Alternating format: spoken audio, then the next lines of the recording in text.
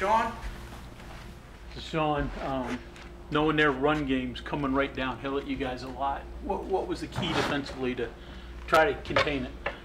Uh, I can't remember his name. Um, I think Robinson, number five. Uh, so we knew he got hurt, and um, we knew we were uh, were going to be able to contain the other backs and stuff. Uh, so we our game plan coming in, uh, we're going to give up the run a little bit more, and then uh, drop more eight. So uh, to protect the pass, because they know the we know they had good receivers like number eight and um, a bunch of number 15, and everything. So uh, so going going into our, for our game plan, uh, we gave the run up a little bit. So.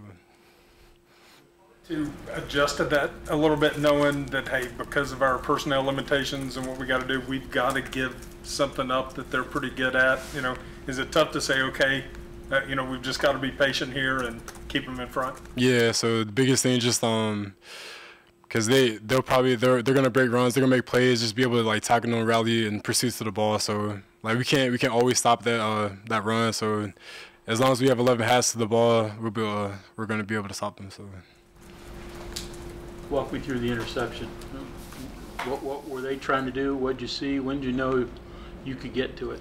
So uh, we were in like a cover two zone, and um, uh, I think it was three by one, and um, as soon as the ball snapped, uh, they were trying to. I knew they they were trying to probably go for the first down, probably not uh, try to take a shot, and I was just reading the quarterback in my zone, and um, he, I just uh, saw his eyes. He threw the ball like towards the middle, and I broke on the ball, so I was able to take it, and then um, I was mad I couldn't score, but uh, at least I held on to the ball, and I was able to run after. So. I mean, that run back ended up being pretty significant. Yeah. Uh, I was. I had like I had my sights on the end zone, but no, I seen like everybody pursuing, so I was like, let me go ahead and get down, so I don't get blindsided. Just the emotions in the locker room, uh, you know, for you, senior day, finishing with a win over Texas. What, what are your emotions? What are the team emotions? uh, just happy, excited. Um, something to remember for. Uh, you know, especially like being this my last game is something I, I'll always remember and everything, and um. Uh, it just it means a lot just seeing everybody's emotion, like happy and everything, and it, it meant a lot to the program, it meant a lot to the te- uh, my teammates and everything. So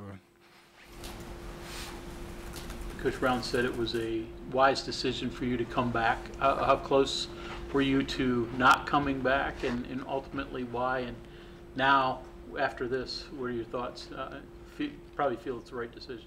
yeah, uh, I think going back, um, when I think COVID first started, um, I didn't we didn't think like we're gonna have like extra season and stuff. So um, just being able to have an extra season after the COVID year, um, you know, I, I think it was a smart decision because I talked with my parents and everything, and um, and it all worked out and everything because um, I was able to finish uh, my MBA and um, uh, uh, be able to start my PhD. I haven't started yet, but maybe in the future. And then um, I just I feel like everything happens for a reason, and um, I couldn't miss out miss out on the opportunity to come back. So. Okay, anything else for Sean? All right, thank you very much.